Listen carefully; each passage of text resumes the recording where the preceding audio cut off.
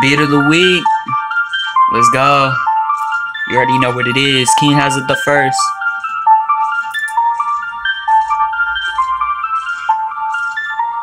Hey.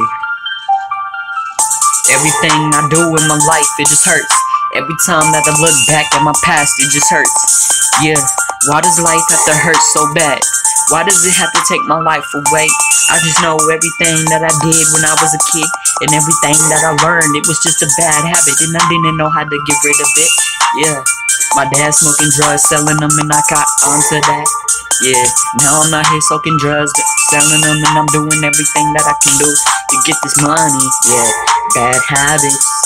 Yeah, these bad habits gonna get you in trouble one day, then you're not gonna be happy. I'm telling you from the experience, cause I did that and I got put in JDF for a while.